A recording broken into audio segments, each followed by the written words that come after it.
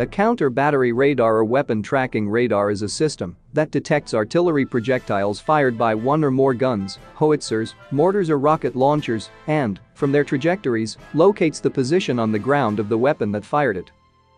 Ukrainian defenders have proven to be very successful in using this radar system, and the Russian invaders have learned this in a harder way.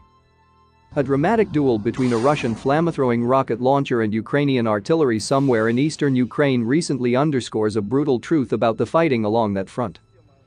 The duel played out during a video shoot by Russian propagandists.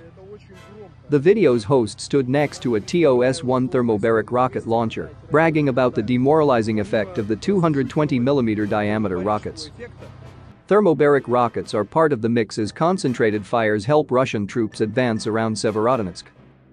Russia has achieved these recent tactical successes at significant resource cost and by concentrating force and fires on a single part of the overall campaign, the UK Defence Ministry stated. It should come as no surprise that Russian media chose to highlight a TOS-1 battery somewhere in the east in recent days. And it also should come as no surprise that the Ukrainians likewise took an interest in the TOS-1. In the video, the TOS-1 fires one rocket, standard practice, as the crew would wait to gauge the accuracy of the first shot before firing a full salvo. Less than a minute later, there's the sharp sound of incoming Ukrainian artillery, which apparently misses. The video crew flees. The TOS-1 fires more rockets. More Ukrainian artillery is audible before the video ends. It's unclear whether the TOS-1 survived the Ukrainian counter-battery barrage. There were factors working against the Russian launcher. The TOS-1, while powerful, lacks range, 6 miles is the maximum. 6 miles isn't very far in an artillery fight. Even the oldest Ukrainian howitzers can shoot farther than that.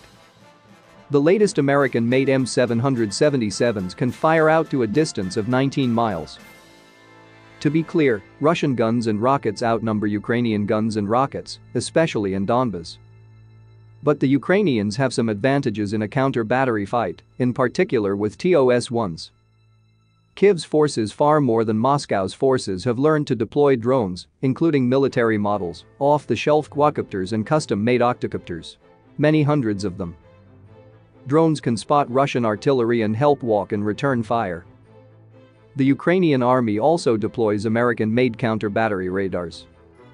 The radars detect enemy artillery fire and instantaneously, and precisely, trace it back to its origin. The Russian army has counter-battery radars too, of course. But the Ukrainian army benefits from steady supplies of fresh radars from foreign donors.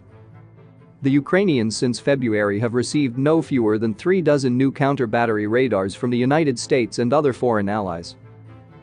The Ukrainian counter-battery system, dramatically on display in that Russian propaganda gone wrong, should improve in coming weeks as the first high-mobility artillery rocket system launchers arrive from the United States.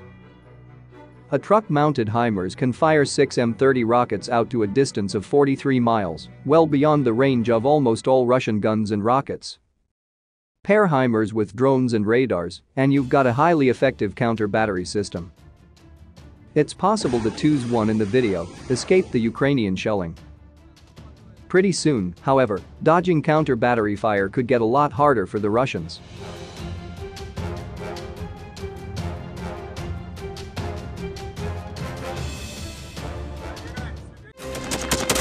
Thanks for watching, and don't forget to subscribe.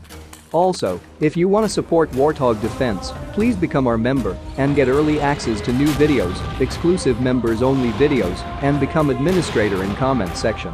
The membership link is in the description.